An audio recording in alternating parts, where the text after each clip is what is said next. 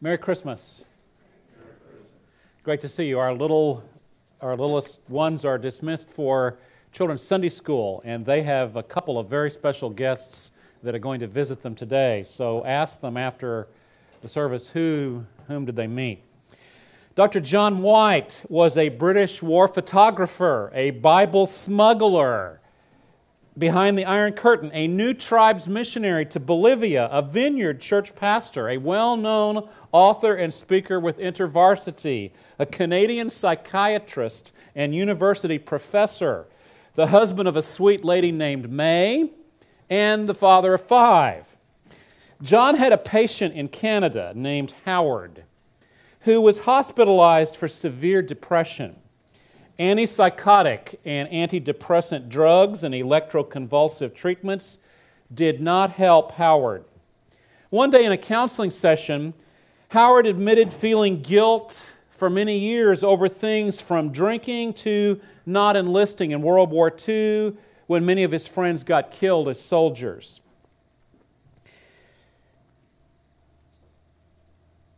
Howard was Russian Orthodox, but even confession to his priest brought no assurance of God's forgiveness. So, as an evangelist and not as a psychiatrist, John asked Howard, How could God forgive you? Howard answered, Because Christ died and shed his blood, but I'm too bad to be forgiven. So John asked, What do you mean you're too bad? Howard replied, I don't deserve to be forgiven. At that moment, John felt righteous anger well up inside. So he said, Of course, you don't deserve to be forgiven. No one deserves it. Who do you think you are to say that Christ's death was not enough? God says Christ's death is enough to forgive all your sins forever. If you don't believe that, then you're calling God a liar. But if you accept God's wonderful gift of salvation in Christ, you're forgiven and forever free from the guilt that you have suffered all your life. At that moment, the truth sunk into Howard's soul by faith. Howard began to cry and pray a real prayer for the first time in his life. Thanks, God. I'm so sorry. I didn't know. How come nobody ever told me this before? I've been blind all my life, but now I see. Howard didn't know that he was quoting the words of a Christian song. In a short time, nurses began to post comments on Howard's hospital and medical chart. Remarkable improvement, no longer depressed, paranoid ideation not expressed, making realistic plans for the future. God had transformed Howard's life by faith in the simple good news of Jesus Christ and by trusting in the Lamb of God who was slaughtered to redeem us by his blood. That same good news has transformed the lives of millions of people over the centuries, each having his or her own personal testimony, like Howard had. And that same good news of the Redeemer Lamb is shouted and sung by billions of angels in heaven. And today we read the lyrics of their chants and songs in the last half of Revelation chapter 5, which we began studying last week. But unlike last week, when I asked you to read the entire chapter 5 of Revelation. I don't want you to read the whole chapter this week. I only want you to read aloud the words of the angels and the heavenly host, and I'll read the rest of the chapter. So I will cue you with the bold faced letters when you can join me. So, in honor of God's word, would you please stand? And I'll begin reading in Revelation chapter 5, verse 1 and then you will join me when the letters get bold faced. So let's begin Revelation 5 1. John writes, then I saw in the right hand of the one seated on the throne, God the Father, a scroll with writing on the inside and on the back, sealed with seven seals. I also saw a mighty angel proclaiming in a loud voice, Who is worthy to open the scroll and break its seals? But no one in heaven or on earth or under the earth was able to open the scroll or even to look in it. And I cried and cried because no one was found worthy to open the scroll or even to look in it. Then one of the elders said to me, Stop crying. Look, the lion from the tribe of Judah, the root of David, has been victorious so that he may open the scroll and its seven seals. Then I saw one like a slaughtered lamb standing between the throne and the four living creatures and among the elders. He had seven horns and seven eyes, which are the seven spirits of God sent into all the earth. He came and took the scroll out of the right hand of the one seated on the throne. When he took the scroll, the four living creatures and the 24 elders fell down before the Lamb. Each one had a harp and gold bowls filled with incense, which are the prayers of the saints. And they sang a new song. Join me. You are worthy to take the scroll and to open its seals because you were slaughtered and you redeemed people for God by your blood from every tribe and language and people and nation. You made them a kingdom and priests to our God, and they will reign on the earth. Then I'll continue, verse 11. Then I looked, said John, and heard the voice of many angels around the throne, and also the living creatures and of the elders. Their number was countless thousands plus thousands of thousands. They said with a loud voice, Join me. The Lamb who was slaughtered is worthy to receive power and riches and wisdom and strength and honor and glory and blessing. Then John says, verse 13 I heard every creature in heaven, on earth, under the earth, on the sea, and everything in them say, Join me. Blessing and honor and glory and dominion to the one seated on the throne and to the Lamb forever and ever. The four living creatures said together, Amen. And the elders fell down and worshiped. Let's talk to this one who's seated on the throne and to his son. Dear Father, I thank you for your marvelous word that reveals what heaven is like. And I pray today that your Spirit would open our minds, our hearts to this truth and that we would learn to love and adore and honor and praise and worship our Lord Jesus Christ as he truly deserves now at Christmas time throughout our lives and forever. And I ask this in his amazing name. Amen. You may be seated. Before we finish the last part of Revelation chapter 5, I thought I would review our study so far in the book of Revelation and give you a preview of where we're going. And here's a new chart, and you know I love charts. So let's look at the whole thing now. I'm not going to ask you to see this, but I want you to see this V shape here, and then we'll bring it into a little bit better focus. Let's go to the next one. Back in Revelation chapter 1, John had this glorified, this vision of the glorified risen Lord Jesus. He was on earth, the island of Patmos. Then in chapters 2 3, we spent seven weeks, basically two months, studying Jesus' seven letters to these churches where he is Christ, the Lord of those churches and of all believers. Again, the scene on earth, Asia Minor there. These two chapters are a hinge that looks back at this vision in chapter 1 and it looks forward to the last two chapters of the book with the new heaven and the new earth. Then, this basically, I remember I told you it was a hinge, but what I didn't tell you is that this is basically a fulcrum on which the book of Revelation pivots. And every fulcrum has two sides to the hinge. So let's now go to the other side. So, beginning at the bottom, going up, this hinge of chapters 4 and 5 that we've spent these three weeks studying Christ, the lion and redeemer lamb. He's redeemed those from every tribe, nation, people, language. The scene is heaven. And this sets in motion the rest of Revelation where Jesus takes the scroll, and then beginning in chapter 6, he begins to break those seals. So, those chapters 6 to 18, Christ is the mediator of God's judgment. The scene is earth during the tribulation, but it switches back and forth between heaven and earth. Then, chapters 19 and 20, the climax of the book Christ, the conquering king and judge. on earth at the end of the tribulation and into the thousand year reign. And then finally, 21, I left off 22, I'm sorry. Christ, the eternal bridegroom, and the revelation of the new heaven, new earth, and new Jerusalem. So, again, let's go back to the next, look at the whole thing again.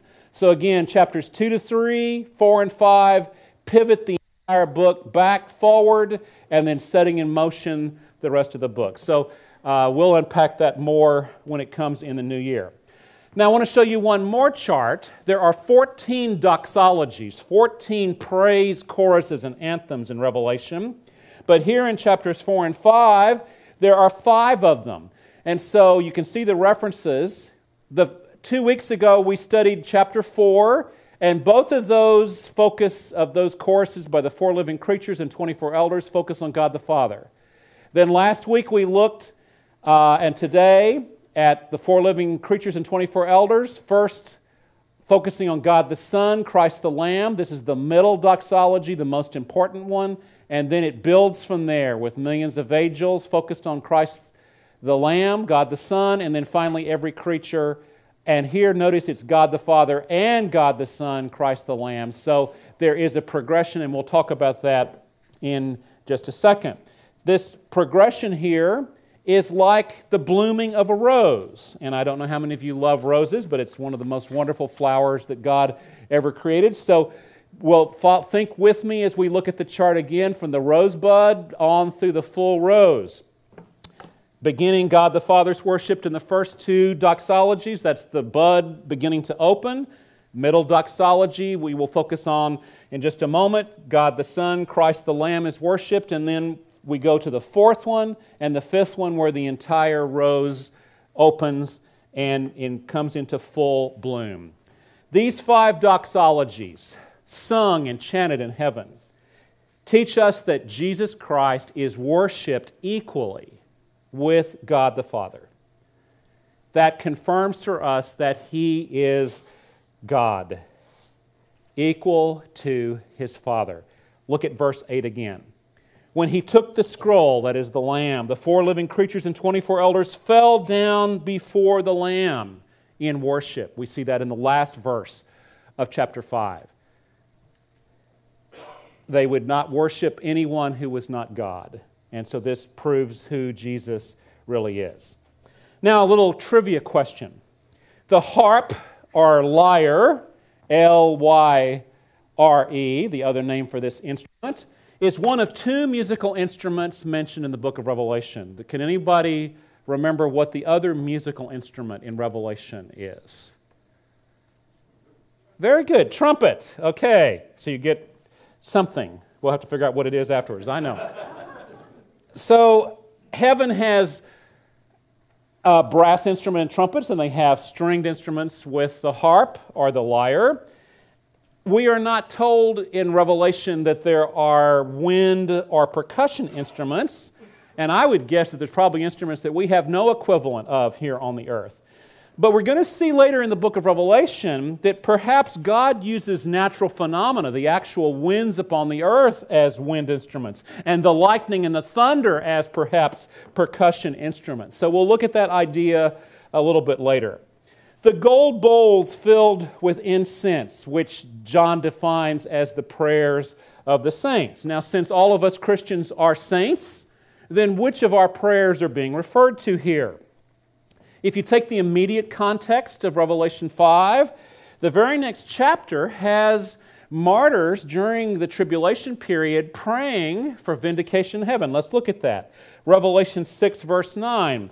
When the Lamb opened the fifth seal, I saw under the altar, under the altar the people slaughtered because of God's word and the testimony they had. They cried out with a loud voice in prayer, Lord, the one who is holy and true. How long until you judge and avenge our blood from those who live on the earth? In the new year, we'll look at that, but it's very interesting, a very different kind of prayer than what you might expect in heaven. So the gold bowls may simply be these prayers of the saints that came out of the tribulation who gave their lives for Christ. But if these bowls contain the prayers of all saints, all believers who have ever lived, then that's a very different concept. Every time you or I pray, our prayers are treasured in heaven like sweet smelling incense. Have you ever thought of your prayers like that? That your prayers are that important and precious to God? What an incentive for us to pray. At the beginning, in my opening illustration, we heard Howard, the man who talked baby talk as a new Christian, uh, so fresh and, and um, real to God. But then we're going to see later in my message a couple of very mature Christians and how they pray as well. So, fellow saints, let's pray.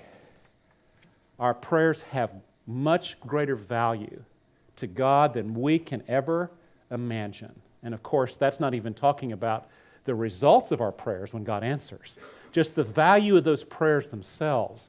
An amazing concept. Verse 9 And they sang a new song Again, notice this is the 24 elders and the four living creatures. You are worthy, speaking to the Lamb, to take the scroll and open its seals, because you were slaughtered and you redeemed people for God by your blood from every tribe and language and people and nation. You made them a kingdom and priests to our God, and they will reign on the earth. This first great doxology in chapter 5 praises Jesus Christ the Lamb.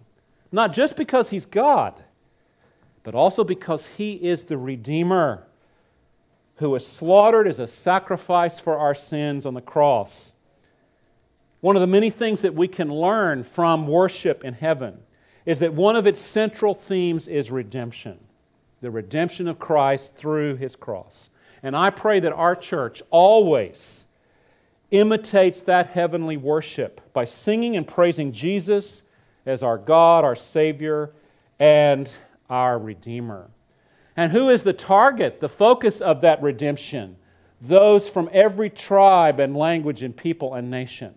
In a later message, I will unpack those four groups and we will think about how incredibly significant that worldwide salvation is. But we will look at that in a future message.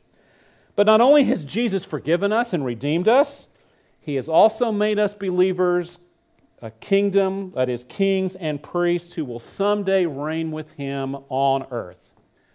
Now, many of our amillennial brothers believe that we Christians will only rule spiritually in heaven.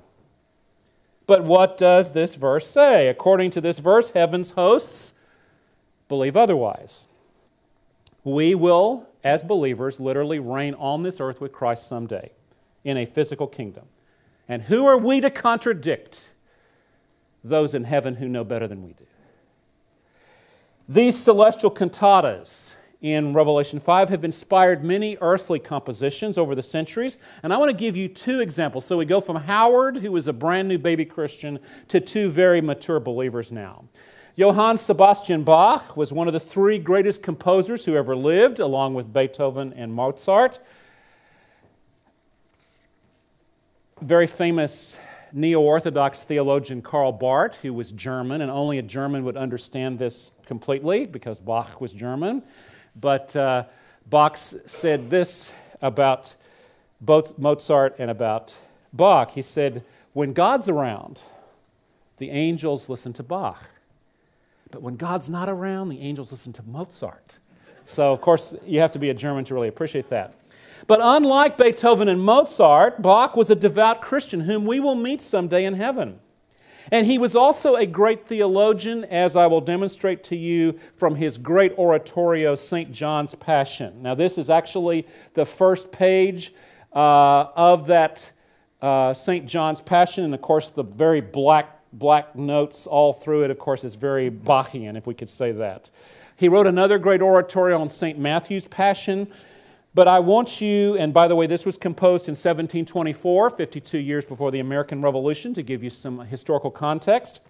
But I want you to listen to some the very personal prayer that's in the middle of this cantata, this oratorio, written by Bach. And let's look at it. Who has struck you thus, my Savior? and with torments so evilly used you. You are not at all a sinner like us and our children.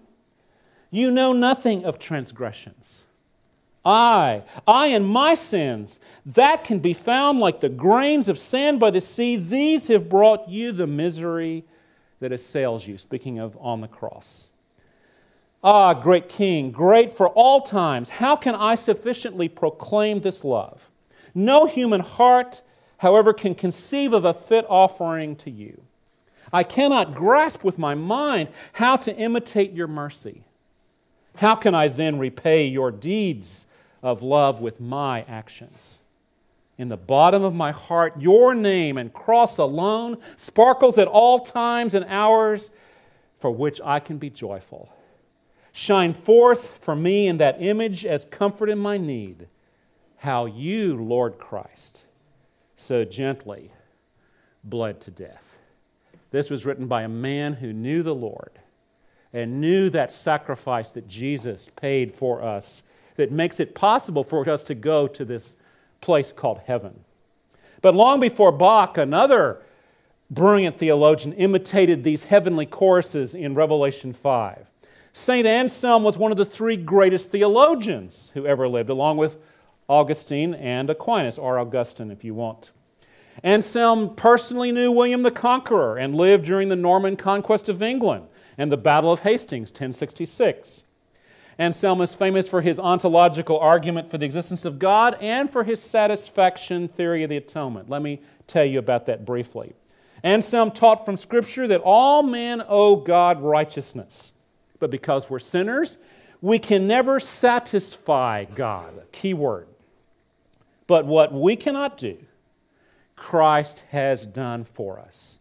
Because Christ is perfect, He satisfies God's righteous demands that we cannot.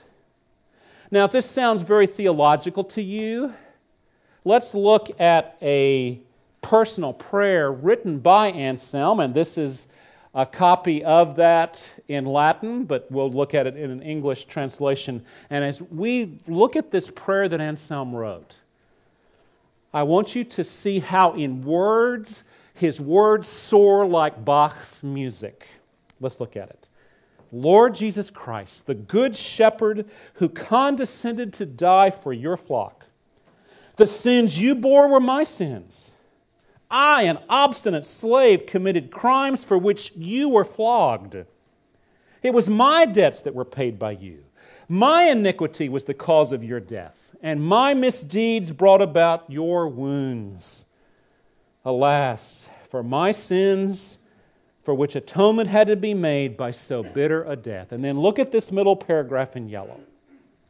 Oh, unspeakable mercy, that when satisfaction for guilt was owed by none but man, and none but God was able to provide it, God showed his mercy by becoming man and though he owed nothing for himself, paid our debt by dying for us. Brothers and sisters, the goal of a theologian isn't to make things muddy, it's to make things clear. And I think this is one of the clearest statements of the gospel that has ever been written by any person, and yet it's a prayer. Let's finish it. Oh, holy Jesus, what shall I render for you?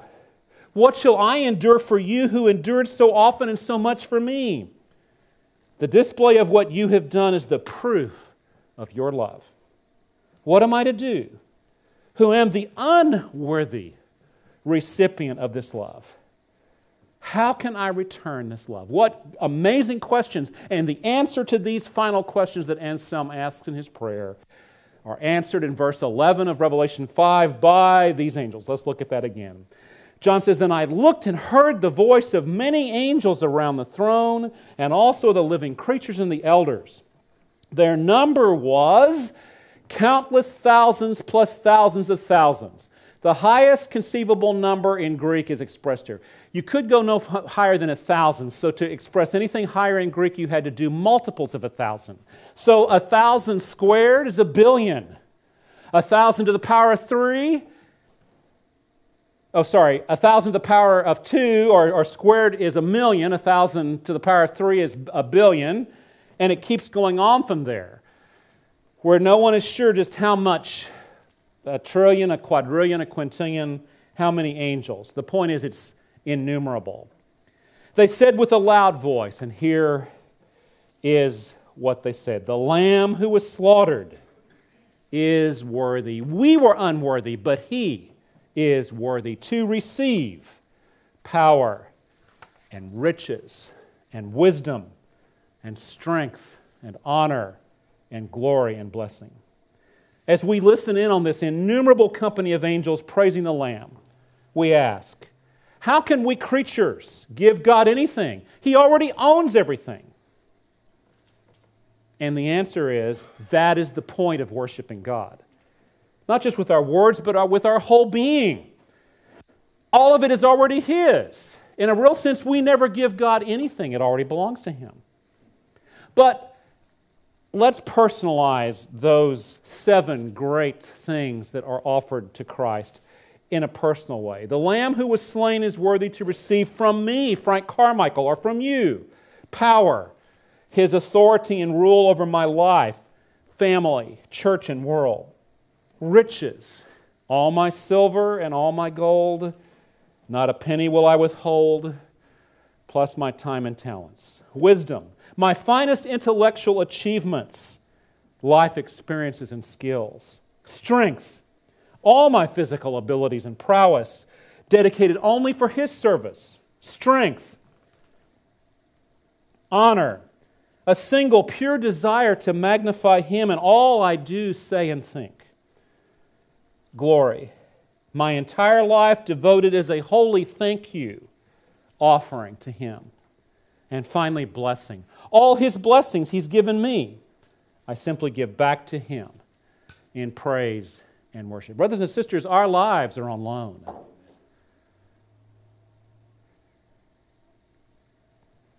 John simply writes in the book of Revelation what he saw and heard.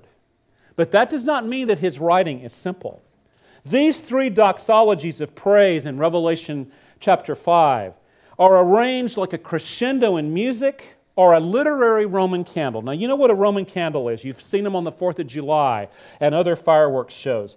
A Roman candle shoots into the sky, explodes in spectacular pyrotechnics, and trails off like shooting stars. Then, just as the first round is dying out, we earthbound watchers are awed by a second explosion that blazes into glory in a different color. But before we get over the thrill of that second brilliant blast, just as it's dying out, we gasp in giddy, childlike glee as a third dazzling display in a third color lights up the sky for a final kaboom. Revelation chapter 5, verses 8 to 14, is a magnificent heavenly Roman candle. First, the 28 beings who are closest to the throne, four living creatures, 24 elders, speaking of the past, praise him for four things. Then in verses 11 to 12, countless angelic hosts, speaking of the present, praise him for the seven things we have just looked at. And then finally, every creature in the universe, speaking of the future forever and ever, praises him for four things. So you have this little chiasm again, the X pattern. Looking ahead to our study in the new year, we will have some tough sledding to do in this middle section of the book of Revelation, starting in chapter 6.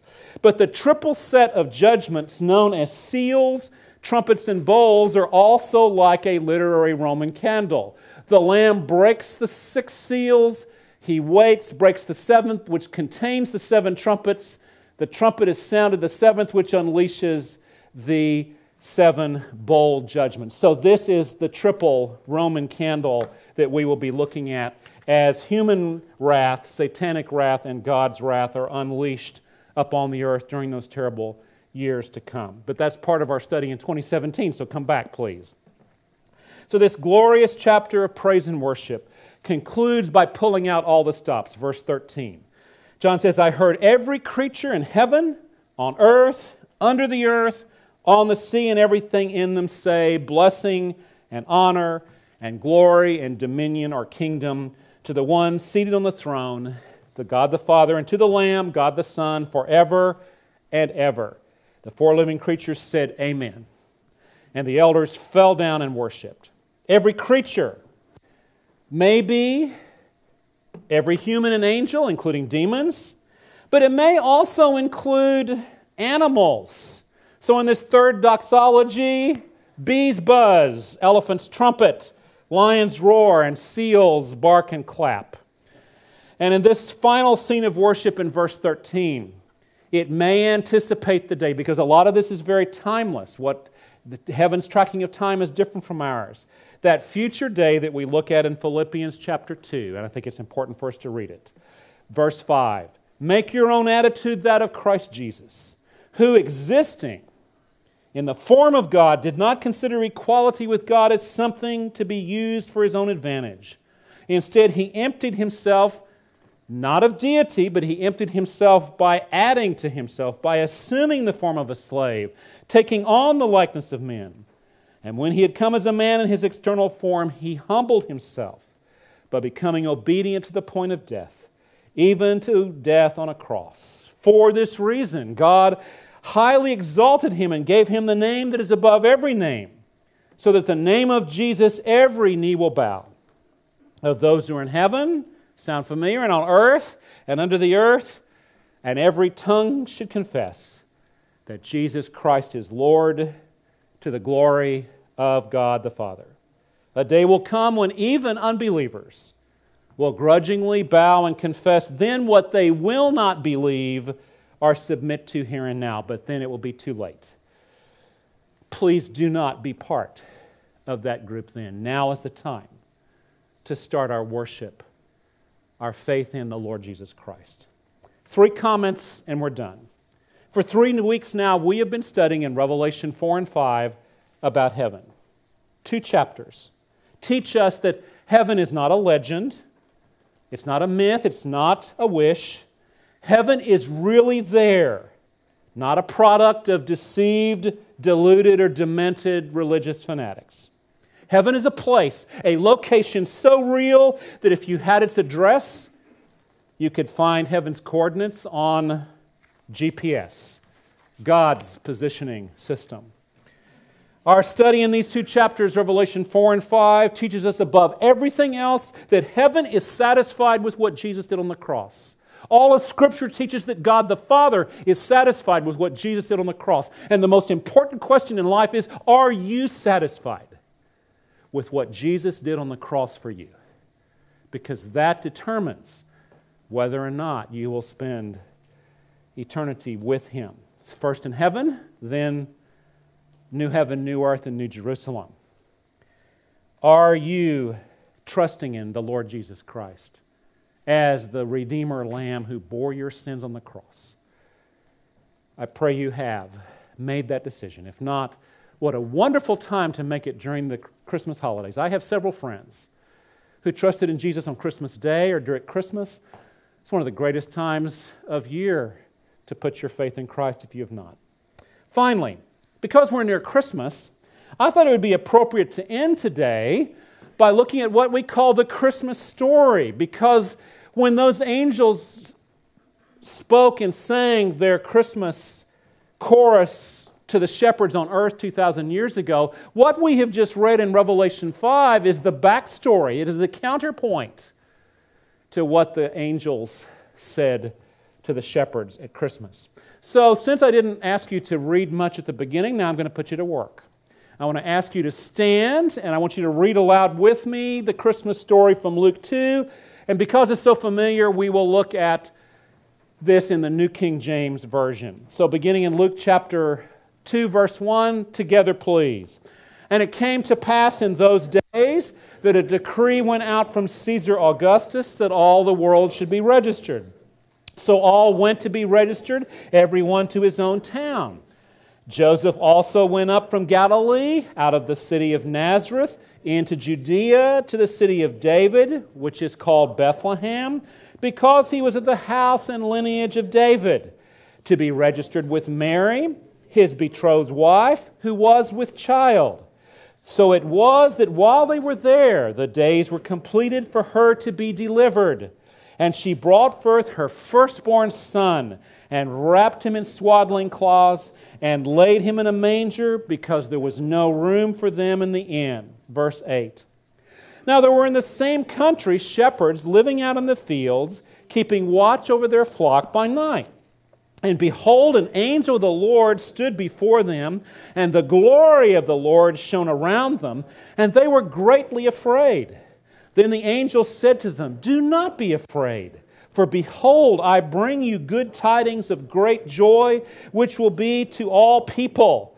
For there is born to you this day in the city of David a Savior who is Christ the Lord. And this will be the sign to you you will find a babe wrapped in swaddling cloths lying in a manger.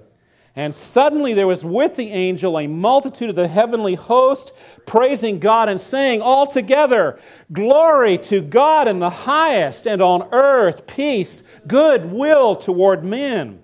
Verse 15. So it was when the angels had gone away from them into heaven that the shepherds said to one another, let us go now to Bethlehem and see this thing that has come to pass, which the Lord has made known to us.